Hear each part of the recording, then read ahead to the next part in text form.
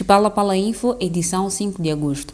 O Comitê Operativo de Emergência Provincial sobre a Covid-19 de Gaza está preocupado com o crescente número de pessoas que não cumprem as medidas de prevenção do novo coronavírus. Segundo o comitê, a situação tende a agravar-se nestes últimos dias depois do estado de emergência.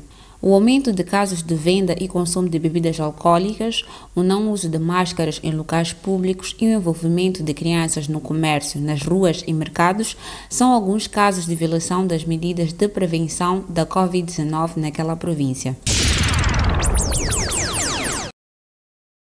Estudo publicado pela revista Science Advance revela que países com vacina obrigatória para tuberculose têm taxas mais baixas de infecção e morte por Covid-19 durante o primeiro mês da pandemia. A pesquisa analisou a taxa diária de casos de novo coronavírus em 135 países e de óbitos em 134 ao longo dos primeiros 30 dias da pandemia em cada nação. Pesquisas sugerem que a vacina tem efeitos benéficos na imunidade contra uma variedade de infecções relacionadas com o pulmão, que vão além da tuberculose, o que torna um candidato para a prevenção contra a Covid-19.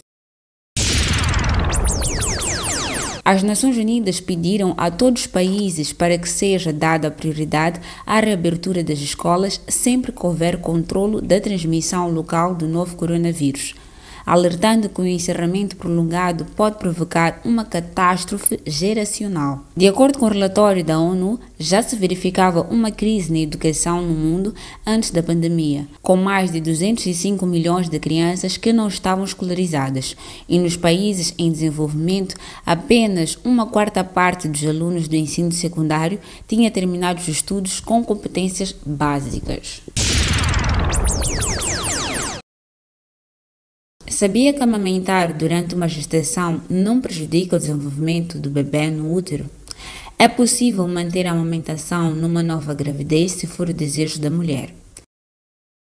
É indicado interromper a amamentação caso haja ameaça de parto prematuro. O hormônio que controla a ejeção do leite também estimula o útero a contrair. A estimulação do mamilo pode intensificar o trabalho de parto, Porém, esse hormônio sozinho não é capaz de iniciar o trabalho de parto. O útero está na fase de carregar o bebê, bem protegido contra um trabalho de parto precoce.